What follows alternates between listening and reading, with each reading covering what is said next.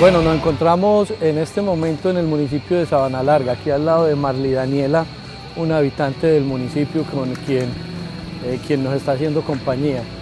Eh, este es un municipio bastante bonito, bastante peculiar y yo creo que eh, podría ser uno de los símbolos de Antioquia. Tal vez es el municipio de Antioquia que realmente se encuentra enclavado entre las montañas del departamento. Tendremos que hablar mucho en los próximos días pero hoy básicamente nos referiremos a un tema crucial, las posibilidades de penetración.